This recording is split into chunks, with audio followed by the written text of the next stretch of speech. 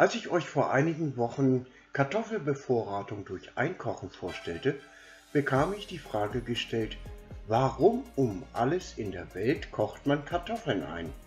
Und seinerzeit versprach ich euch, euch zu zeigen, was ich aus eingekochten Kartoffeln zum Beispiel alles mache. Ich bin Kalle und ihr seid bei Kochst du mit Kalle. Herzlich willkommen. Stellt euch mal vor, das Enkelchen kommt zu Besuch und sagt, ich habe so einen großen Hunger und ihr habt gerade überhaupt so gar nichts da.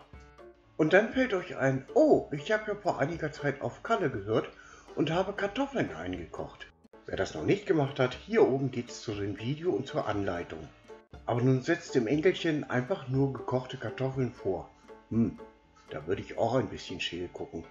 Aber frittiert ist schon was anderes. Frittierte Kartoffelecken aus eingekochten Kartoffeln, dazu ein bisschen Ketchup oder meine selbstgemachte Mayonnaise und das Enkelchen ist zufrieden. Für ca. 4 Portionen benötigt ihr 2 Gläser eingekochte Kartoffeln, ca. 500 Gramm pro Glas, 3 Liter Frittierfett oder Speiseöl und Pommesgewürz.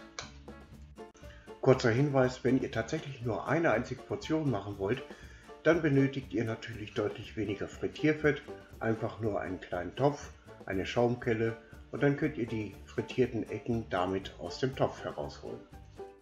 Und hier oben kommt ihr zu meinem Video, wie ihr bestes und hervorragendes Pommesgewürz selber machen könnt. Und dann geht auch schon alles ganz schnell. Kartoffeln werden abgeschüttet, dann werden sie ein wenig kleiner geschnitten, eben in Kartoffelecken da sie ja bereits eingekocht, also auch vorgekocht sind, entfällt das, wie etwa beim Pommes selber machen. Also muss jetzt nur noch die Fritteuse angeschmissen oder ein Topf mit Frittierfett aufgesetzt werden, heiß werden lassen und die Kartoffelecken bei 130 Grad so lange frittieren, bis sie schön goldgelb und kross sind. Dann auf einem Teller anrichten und etwas selbstgemachte Mayo dazu. Hier oben seht ihr im Übrigen das Video, wie ihr selber Mayonnaise machen könnt. Und wenn ihr dann zufälligerweise auch noch zwei Eier und 50 Milliliter Milch habt, dann könnt ihr auch noch ein schickes Rührei dazu machen. Das ist zum Beispiel ein Lieblingsessen von uns, wenn es mal schnell gehen muss.